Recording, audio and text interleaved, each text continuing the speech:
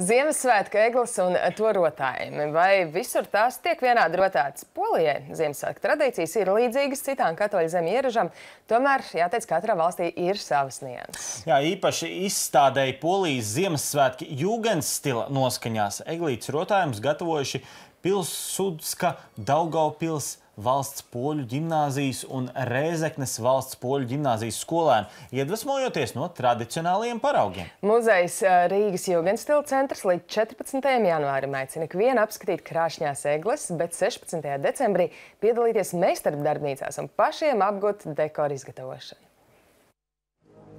Jau vairākus gadus pēc kārtas mēs svinam Ziemassvētkus dažādu valstu stilā. Nu, šogad ir poļu stilā. Poļi kā nekā mūsu kaimiņi, un mums ir interesanti, kādas tad ir bijušas viņu šī Ziemassvētku svinēšanas tradīcijas. Mūsu muzejā, protams, mēs rādām to, ko cilvēki paši var izmantot savās mājās, un tā ir telpu rotāšana. Un, protams, pats galvenais akcents tā ir egle. Tā kā mums tomēr ir muzejs, un mēs gribam parādīt šo daudzveidību, tad muzejā pašreiz ir četras eglis. Ja mēs runājam tieši par senajām tradīcijām, tautas tradīcijām, tad tās bija lietiņas, kas tajā laikā bija pieejamas. Tad no salmiņiem mēs rotājums varam uztaisīt, abolīts arī mums ir saglabājies, nu, krāsots riekstiņš arī ir iespējams. Egle tas ir prieks visai ģimenei, galvenokārt, protams, bērniem, un tādēļ ir, ir šī ļoti lielā daudzveidība. Un tās lietas, kas bija raksturīgas daudzām tautām, viņas atkārtojas, jā, bet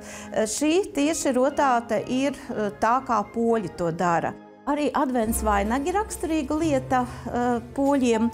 Un mēs redzam savdabīgu sveču krāsas, violetā krāsa, kas ir saistīta tomēr ar baznīcas simboliem, un arī šī viena gaišā krāsa, kas simbolizē atkal šo atzimšanu un šo jaunā gada būtībā sākumu. Šo veikli gatavoja Pilsudska Daugaupils poļu ģimnāzijas skolnieki. Un visi, visi šeit eglē uh, izstādītās lietas ir roku darbs ar brīnišķīgām bumbām, kuras acīm redzot arī mēs mājās varam uztaisīt, un brīnišķīgiem tamborējumiem. Pati augšējā bumba ir īpaši veidota šai eglei. Tur ir polijas ģērbonis un otrā pusē arī jauki novēlējumi mums visiem Ziemassvētkos. Šī egle arī ir nu, būtībā tāda, ko katrs mājās var izgatavot rotājumu šai eglei. Un šeit ir pāris tādas interesantas lietas. Atkal mēs redzam nedaudz salmu rotājumus, konfektītes, bet var ļoti labi izmantot olu čaumaliņas. Varam pielīmēt eņģelīti, varam pielīmēt šādas brīnišķīgas no papīra veidotu elementu.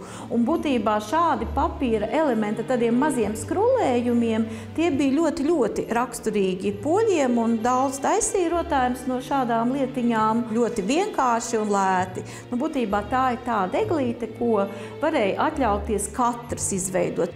Tā ir Rēzeknes valsts poļu ģimnāzijas bērnu veidotā egle. Un atkal priecē šie pilnīgi citādi ierotājumi.